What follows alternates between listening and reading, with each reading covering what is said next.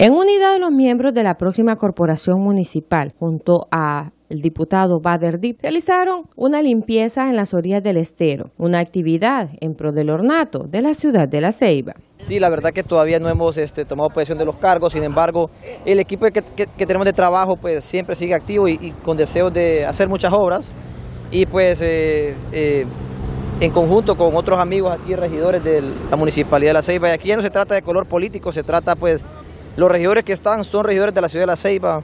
Mi persona como diputado, ya soy un diputado del Congreso Nacional de Honduras, no necesariamente solo el Partido Liberal.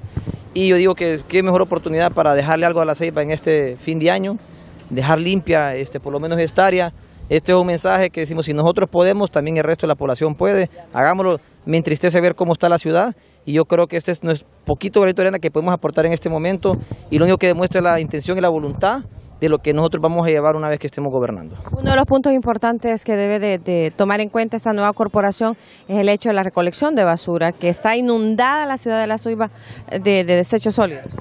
Definitivamente, y siempre lo he dicho, este, tocando temas de corporación, la unidad, la unidad es sumamente importante eh, para que esto pueda salir adelante. La Ceiba está en muchos problemas, tenemos problemas de basura, no podemos hablar de turismo si no limpiamos la ciudad, no podemos hablar de turismo si no reparamos las calles, no podemos hablar de, turismo si no creamos las condiciones para que la ciudad salga adelante, no podemos hablar de desarrollo si no pasan esas cosas. Y yo creo que al final, siempre lo he dicho, en la unidad está la fuerza. Amigos, usted que nos está viendo, súmese, súmese a la causa. Para los regidores recién electos, lo importante es el involucramiento de la población en las actividades que se desarrollen en pro de la ceiba. Sí, mira, para mí hay tres mensajes en esto que estamos haciendo. Uno, nosotros ya no estamos en política, ya estamos en nuestros puestos por, tomar posesión. esto no se trata de hacer política, se trata de enviar un mensaje claro a los seibeños que esto, que tal vez no es nuestro trabajo diario, es responsabilidad de todos los seibeños, no solo de la autoridad municipal. El otro mensaje, Yasmira, es que para esta autoridad municipal que está por tomar posesión, la limpieza de la basura será prioridad.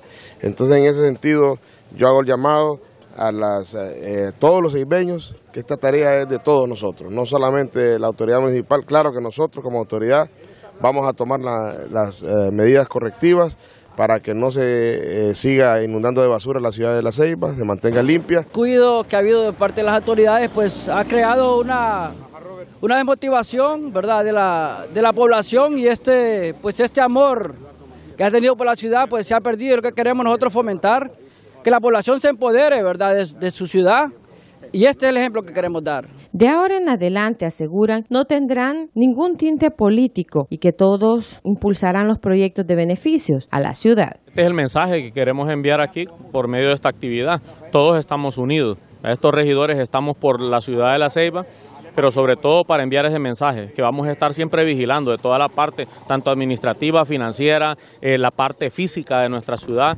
Eh, no podemos decir que somos la ciudad más bella de Honduras si la mantenemos sucia. Tenemos que tomar acciones, como tú lo dijiste, va a ser un papel fundamental de nosotros buscar eh, el método preciso para venir evitar la parte de la recolección que se den en, los mercados, que es tan feo. O sea, la basura está en una parte expuesta, abierta. Para Telenoticias les informó Yasmira Locandro y en cámaras Byron Meléndez.